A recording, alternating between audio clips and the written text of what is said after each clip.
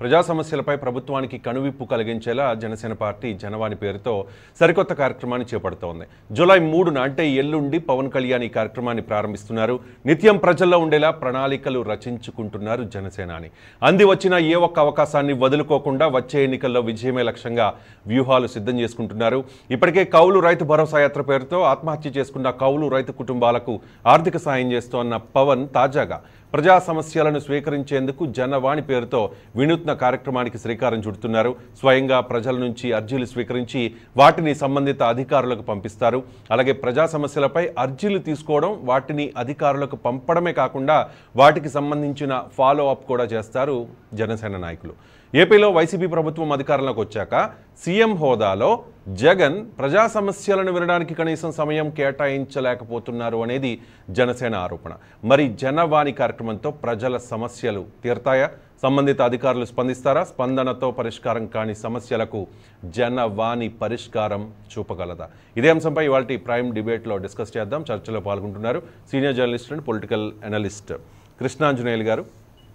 Bandaru Srinivas గారు జనసేన నాయకులు అలాగే కొత్తపేట నియోజకవర్గ జనసేన పార్టీ ఇన్ఛార్జ్. మరి కాసేపట్లో థర్టీ ఇయర్స్ ఇండస్ట్రీ పృథ్వీరాజ్ గారు కూడా ఈ డిబేట్లో మనతో పాటు జాయిన్ అవుతారు. గుడ్ ఈవినింగ్ అండి welcome to ninety nine TV. ముందుగా కృష్ణాంజనేయులు గారు రాజకీయాల్లో విమర్శలు ప్రతి విమర్శలు. మీ ప్రభుత్వంలో మీరు ఎలా చేశారంటే మీ ప్రభుత్వం వచ్చాక మీరు ఎలా చేశారని విమర్శించుకోవడం మనం తరచూ అనేక సందర్భాల్లో చూస్తూ ఉన్నాం.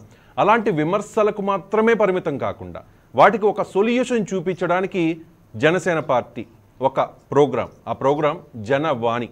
ఆ జనవాణి ప్రోగ్రాంతో ప్రజా సమస్యలు ఎంతవరకు తీరే అవకాశం ఉంది? ముందుగా కృష్ణాంజనేయులు గారు. రవిశంకర్ గారు నమస్తే. నమస్కారం అండి. శ్రీనివాస్ గారికి అదేవిధంగా నైన్టీ నైన్ వీక్షకులకు కూడా నమస్కారం. పృథ్వీరాజు గారికి కూడా నమస్కారం. రాజకీయ పార్టీలు అంటే రాజకీయ ప్రత్యర్థి పార్టీల మీద విమర్శలు చేయటం అనేటువంటిది. అదేవిధంగా ప్రభుత్వాలు అధికారంలో ఉన్నారనుకోండి. ప్రతిపక్ష పార్టీలు అధికార పార్టీ మీద విమర్శలు చేయడానికి పరిమితం అయ్యేటువంటి పరిస్థితులు అయితే ఉంటాయి. జనసేన ఒక భిన్నమైనటువంటి అంశాలతో అసలు పార్టీ ప్రారంభం నుంచే ప్రజలకి చేరువైంది. ఎలా అంటే ప్రశ్నించటం అనేటువంటి ప్రధానమైనటువంటి అంశం నేను. అంటే ప్రజల తరపున ప్రశ్నించటమే జనసేన యొక్క ప్రధానమైనటువంటి లక్ష్యంగా Hmm. జనసేన ప్రారంభమైంది. అది ఒక మంచి ప్రయత్నం.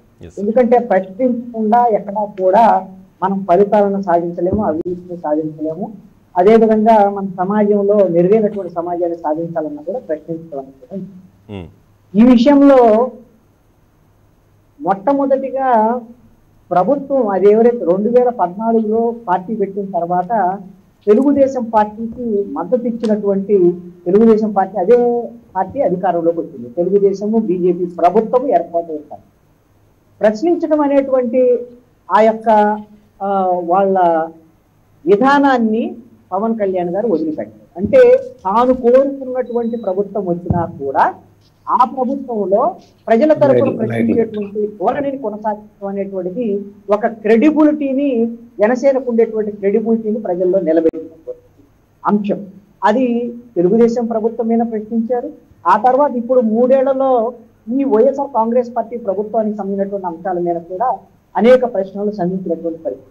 అలాగని ప్రతిదీ విమర్శ చేయటమే ప్రశ్నించడమే లక్ష్యంగా ఎప్పుడు కూడా పవన్ కళ్యాణ్ గారు చేయలే ఎందుకోసం అంటే ఈ ప్రభుత్వం ఏర్పడినటువంటి ఈ మూడేళ్ళలో మొదట్లో జగన్మోహన్ రెడ్డి గారి ప్రభుత్వం ఏర్పడినప్పుడు కొన్ని మంచి పనులు చేసినటువంటి సందర్భంలో నేరుగా ప్రభుత్వాన్ని ఆయన ప్రతిపక్షంలో ఉన్నప్పటికీ కూడా జనసేన కొన్ని మంచి కార్యక్రమాల్ని వన్ జీరో ఎయిట్ కానివ్వండి కొన్ని అంశాల మీద ప్రభుత్వాన్ని అభినందించినటువంటి సందర్భాలు కూడా ఉన్నాయి. ఉమ్, కొన్ని జన్- జనరల్గా రాజకీయ పార్టీలు ఏవి కూడా ప్రతిపక్షాల్లో ఉన్నప్పుడు అధికార పార్టీ మంచి చేసినా కూడా నిన్నకుంటారు తప్ప అభినందించేటువంటి సందర్భం అలాంటి ఆ, పెద్ద మనసు అనేటువంటిది ఉండదు.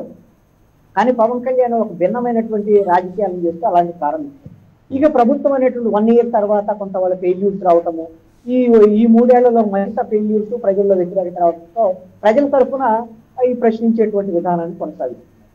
ఈ నేపథ్యంలోనే పవన్ కళ్యాణ్ గారు తీసుకున్నటువంటి జనవాణి కార్యక్రమం. ఇది కూడా చాలా భిన్నమైనటువంటి కార్యక్రమం. ఎందుకు ఈ భిన్నమైనటువంటి కార్యక్రమం అంటే ఈ జనవాణి ప్రజల నుంచి ఏదైనా సరే విజ్ఞప్తులు ప్రజలకు సంబంధించినటువంటి సమస్యల్ని తీసుకునేటువంటి వాళ్ళు ఎవరు అంటే ప్రభుత్వం అధికారంలో ఉండేటువంటి వాళ్ళు. ముఖ్యమంత్రి కానివ్వండి మంత్రులు కానివ్వండి ప్రజల నుంచి విజ్ఞాపనలు తీసుకొని వాళ్ళ సమస్యలు పరిష్కరించేటువంటి ప్రయత్నం ప్రభుత్వం చేయాలి. ఎందుకోసం అంటే వాళ్ళ దగ్గర అధికారం వాళ్ళది ఆ బాధ్యత. విధమైనటువంటి ఆ ప్రయత్నం కూడా వాళ్ళు చేయాలి.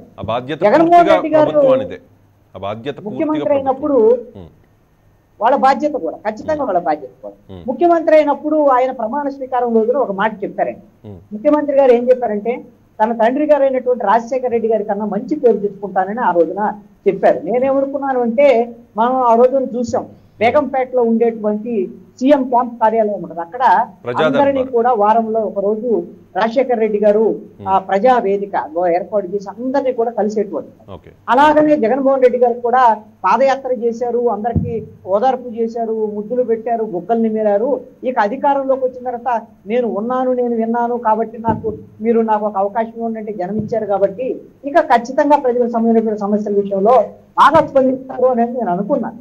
కానీ ఆయన రావటం రావటమే ఈ ప్రజలతో సంబంధం లేదు ప్రజావేదిక రైతులు ఏ రకమైన ఇబ్బందులు పడుతున్నారు అనేది మనం చూస్తూనే ఉన్నాం. రైతు బాగుంటేనే రాష్ట్రం బాగుంటుంది అని అందరూ చెప్పేవాళ్ళే మరి రైతు ఆత్మహత్యలు ఆగడం లేదు. దానికి తోడు దేశానికి అన్నం పెట్టే రైతన్న ఎటువంటి పరిస్థితుల్లో ఎటువంటి ఇబ్బందులు పడుతున్నాడు అనేది మనం చూస్తూనే ఉన్నాం. ఆ రైతుల తరపున మీరు కూడా ఈ మధ్య